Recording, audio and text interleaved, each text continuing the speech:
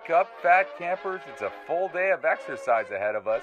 We'll get things started with aerobics at 9 a.m., followed by a nice long run.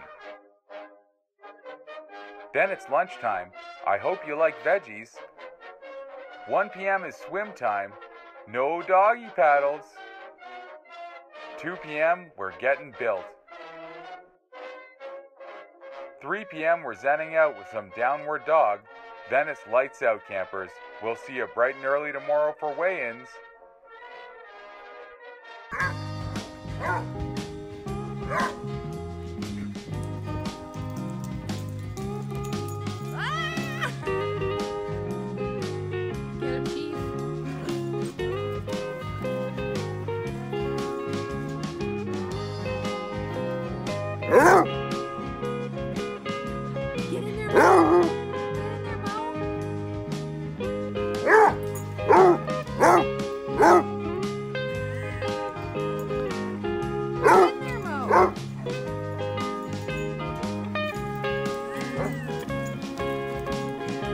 Oh, oh.